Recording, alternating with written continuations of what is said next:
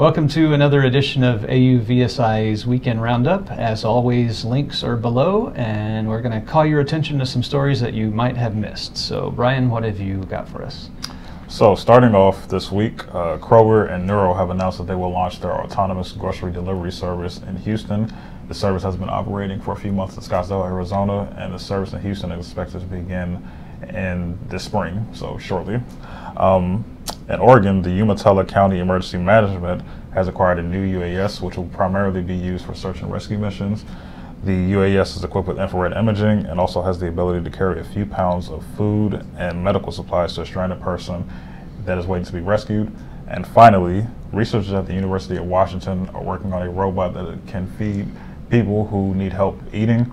Um, the robot would free caregivers to do other tasks while the person is eating. So the idea is for the robot to be attached to a person's wheelchair and feed them that way. And okay. Brett, I understand that you have some news in robotics as well. Yes, and well, one transition there is uh, something that does not need any help eating is the lionfish, which is an invasive species. It's a very pretty fish, but it eats a lot of other fish, and it has been estimated that when the lionfish comes into town, uh, the other reef fish declined by 79%. So a company called Robots in Service to the Environment have created essentially an underwater robot that's an anti-lionfish uh, device.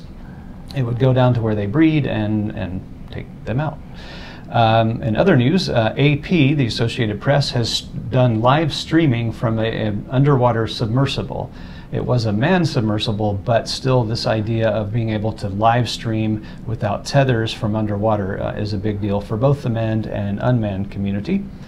A company uh, has created, it's called the Mamut Robot for Agriculture. It's a ground vehicle that would go around to fields and monitor like crop health and see how what areas of the crop might need fertilizer, and that sort of thing.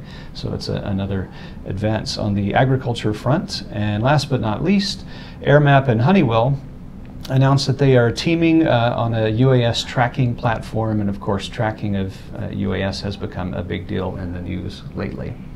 So that's what we have for you this week, and we will see you next week.